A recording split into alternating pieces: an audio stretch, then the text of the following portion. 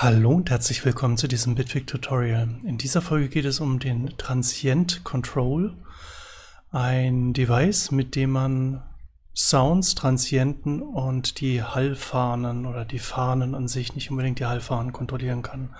Was das ist, erkläre ich euch jetzt. Legen wir doch einfach mal los.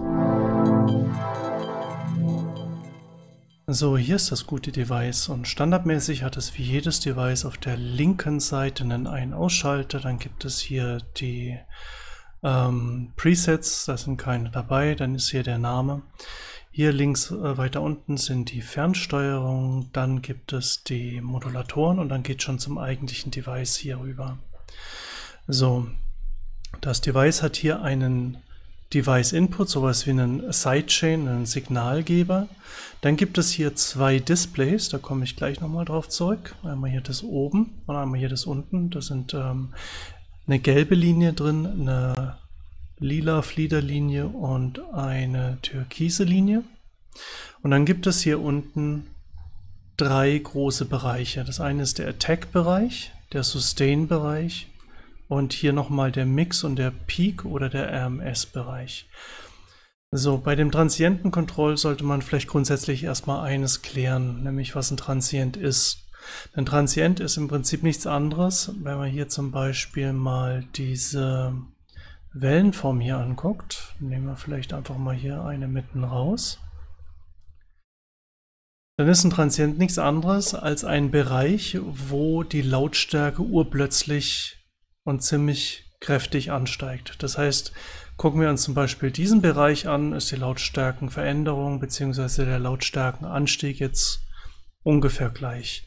Und dann nehmen wir diesen Bereich und im Gegensatz zu diesem Bereich hier drüben ist hier die Lautstärke extrem angestiegen. Das heißt, der Algorithmus erkennt hier an der Stelle, hier ist ein Transiente, nämlich genau fängt er hier an und wie lange der geht, das ähm, entscheidet der Algorithmus, beziehungsweise das können wir entscheiden mit dem Transientenkontroll. Und zwar geht es hier um den Attack. Der, der, der Sound, hier der hier zum Beispiel, vielleicht gehe ich doch nochmal zurück, das ist der komplette Sound. Nehmen wir mal einfach an, das ist hier der komplette Sound. Und ähm, der wird jetzt von dem Transientenkontroll in zwei Bereiche aufgeteilt. Einmal in den Attack-Bereich und einmal in den Sustain-Bereich.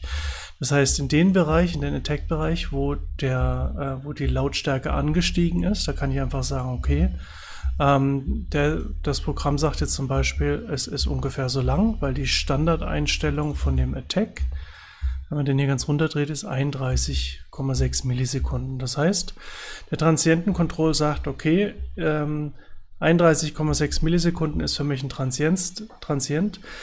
Da ähm, ist für mich die Attack-Zeit und die Attack-Zeit kann ich jetzt einfach hier nochmal verschieben. Das heißt, ich kann, ich kann zum Beispiel sagen, solange wie ich hier die Attack-Zeit definiere, solange tu mir einfach mal gar nichts, sondern das ist einfach die Zeit, die du brauchst, bis irgendetwas passiert. Und der Rest hier ist die Sustain-Phase, hier der zweite Teil. Und äh, in der Sustain-Phase kann ich genau dasselbe machen. Hier fängt die Sustain-Phase an und da kann ich einfach sagen, okay. Und dann lass einfach nochmal Zeit vergehen, bevor du irgendwas hier anderes nochmal machst. So, um das jetzt aber nicht so ganz so theoretisch werden zu lassen, ähm, mache ich das gleich mal mit einem Hörbeispiel. Und vorher vielleicht doch noch eine kleine ähm, Geschichte. Und zwar gibt es hier noch den Peak und den RMS. Ich würde mal sagen, so ganz, ganz laps, äh, flapsig würde ich sagen, Peak ist so der nervöse Bruder vom RMS. Das heißt, bei Peak ähm, wird jede, jede Lautstärken, starke Lautstärkenveränderung als anders genommen, ein Signal reinzusenden. Und äh, bei RMS wird dann eher so der, ähm, der Sound Body betrachtet. Wenn wir das hier jetzt nochmal genau angucken, wäre RMS ungefähr immer hier oben, ganz nervös. Jedes Mal, wenn hier irgend sich was ändert, würde er anfangen, ein Signal zu senden. Und bei dem RMS würde er einfach sagen, okay, wenn es so hier ungefähr das, was jetzt hier so ein bisschen dichter dargestellt wird, ähm, würde er auf jeden Fall so als RMS benutzen, so dieser untere Bereich. Ich habe jetzt leider keinen Maus zeige, aber wenn man so den oberen Teil des Cursors hier nimmt, wäre das hier so der RMS-Bereich. Und jetzt nochmal der obere Teil des Cursors wäre hier oben dieser Peak-Bereich. Dann wird er nach dem hier gehen. Das heißt, RMS ist eher so ein bisschen gemächlicher. Hier steht auch Slower follows the body. Und Peak ist dann eher Faster, Keying und Transitions. Also alles, was sich irgendwie hier verändert, ähm, würde er hier rannehmen. So, jetzt gehen wir aber einfach mal hier zu dem Beispiel. Ich habe hier einfach mal eine Drum Machine genommen und ähm, dann machen wir hier mal alles auf normal und verändert und Transient Control aus. Und hier läuft einfach eine Kick durch mit so ein bisschen einer Fahne hinten dran. Wenn man sich das hier anguckt, wenn es nicht gefreezed ist, dann sehen wir so eine Welle. Wenn ich das hier anmache, verändert sich erstmal an der Welle nichts, weil ich hier auch nichts verändert habe erstmal. Gut, ich kann jetzt von Peak nochmal auf RMS umstellen. Dann verändert sich hier was in den Displays, aber ansonsten erstmal nicht wirklich was. So, zu den Displays. Ich mache das hier einfach mal ein bisschen leiser.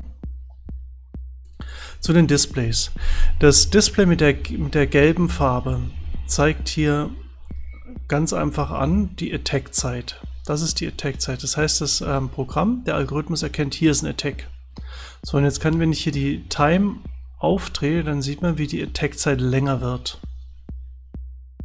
Das, das, heißt, ich definiere jetzt einfach eine längere Attack-Zeit. Wenn die vorher hier nur so ein bisschen war, ist die Attack jetzt, sagen wir ganz übertrieben gesagt, jetzt so lang. So, zum Beispiel.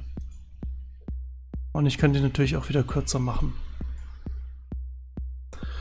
In der Attack-Zeit, und die minimale Attack-Zeit ist 31,6 Millisekunden, passiert erstmal nichts nach dieser Attack-Zeit. Das heißt, diese Time, die, hier standardmäßig bei 31,6 Millisekunden losgeht, kann ich zum Beispiel sagen, nach diesen 31,6 Millisekunden hebt mir die Lautstärke an. Und je weiter ich die Time rausziehe,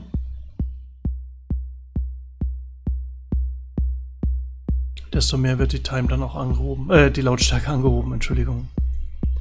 So. Und bei der Sustain-Zeit, das ist diese lila fliederfarbene Kurve, wenn ich da jetzt die Time erhöhe, mach das mal heftig, sieht man, wie das hier auch länger wird und die hat gar keine Chance, wieder ganz nach oben zurückzukommen, weil dann schon wieder der nächste äh, Peak kommt. Wenn ich das jetzt alles ein bisschen langsamer mache und hier mal ganz nach links drehe, sodass die relativ kurz ist, die Sustain-Zeit, oder ganz nach rechts drehe, wieder lang ist, vielleicht noch langsamer, dann sieht man, wie sich das hier ändert. So ist eine schnelle Sustain-Zeit und so habe ich einfach eine verlängerte Sustain-Zeit und kann dann in der Zeit auch wieder das, die Lautstärke anheben.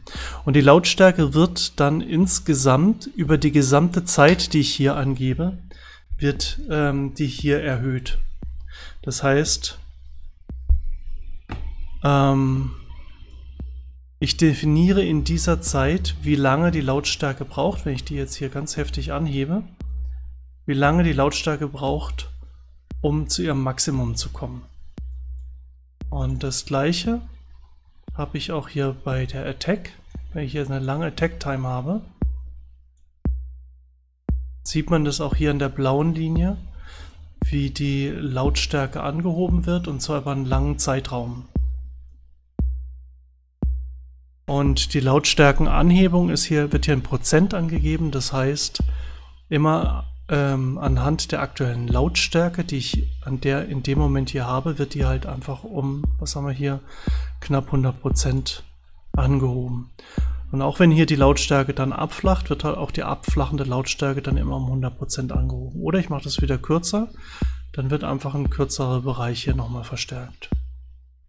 Das sind hier diese Attack und Sustain Time Zeiten. So, und jetzt kann ich aber hier, habe ich hier noch Modulatoren und kann mit den Modulatoren natürlich auch nochmal was machen, nämlich die Attack-Zeit und die Sustain-Zeit nutzen, um zum Beispiel hier so einen Reverb zu triggern. Den habe ich hier zum Beispiel auf ausgemacht. Ich mache das hier mal wieder lauter, damit man das hört. Und könnte jetzt zum Beispiel sagen, ich nutze die Attack-Zeit, um den Mix reinzudrehen.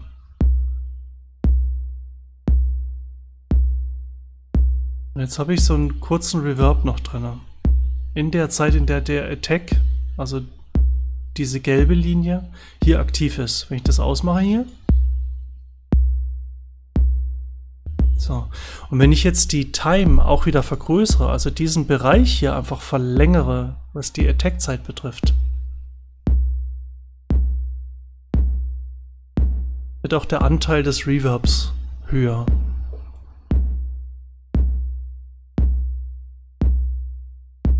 Das heißt, ich kann dieser Kick einfach noch ein bisschen Reverb hinzufügen, ob das jetzt sinnvoll ist oder nicht. An der Kick hört man das halt einfach schön.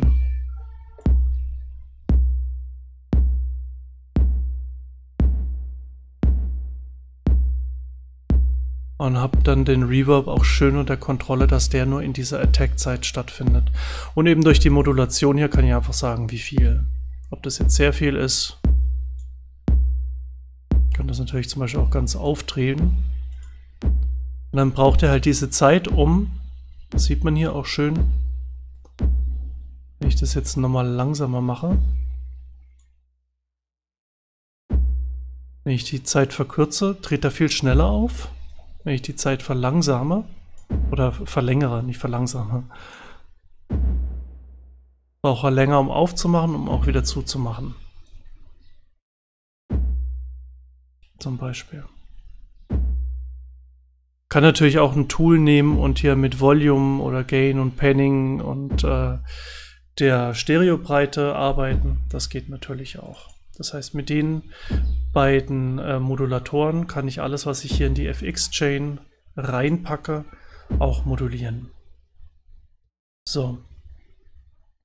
Jetzt habe ich das alles gemacht, ohne einen externen Signalgeber äh, zu haben. Das heißt, ich bin jetzt einfach hingegangen und habe einfach gesagt, ich habe hier einen, einen Track und ähm, ich habe hier als extra nur so einen äh, Kickdrum-Track genommen, weil der halt am saubersten, am cleansten ist. Ich kann das natürlich auch mit jedem äh, anderen Sample machen, das ich möchte. Es ist halt nur zum Hören ein bisschen schwieriger, was man da macht. Aber so die Details, die man hier mit dem äh, Transienten-Control rausarbeiten kann, die sind halt dann doch teilweise sehr wichtig. Und jetzt kann ich das Ganze noch machen, zum Beispiel für einen Groove-Import. Ich kann mir so einen Trigger-Groove setzen und ähm, der würde zum Beispiel so, so klingen.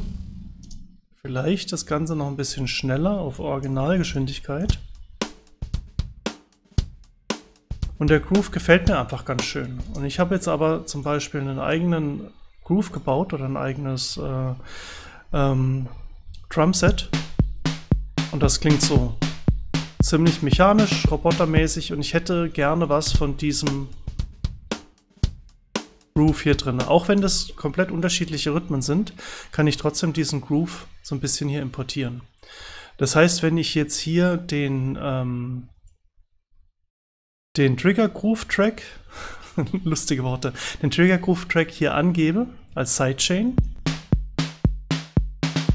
und ich hier noch nichts groß eingestellt habe, so hätte ich jetzt nichts eingestellt, beziehungsweise ich habe hier den Mix runtergedreht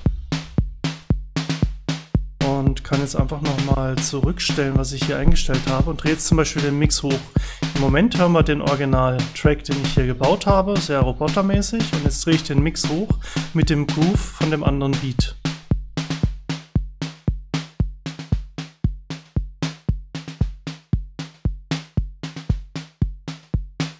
Und habe jetzt schon so ein bisschen dadurch, dass ich äh, in der Sustain-Zeit in der Lautstärke so ein bisschen runtergehe, vielleicht weniger auffällig machen, habe ich dann schon so ein bisschen einen Groove drin, der aus einem anderen Beat-Track quasi kommt.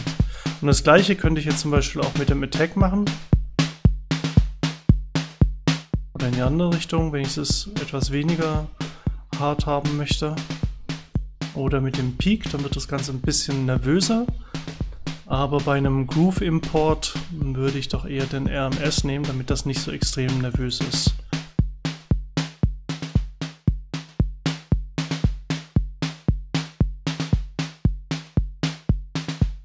Kann mir da einfach so einen ganz sachten Groove Import bauen.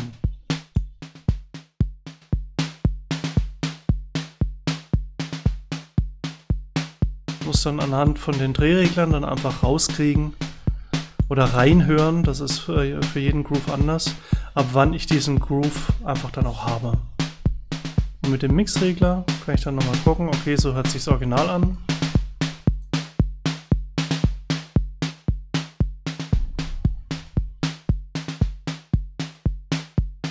Und so hört sich dann mit einem quasi einem Groove-Import an.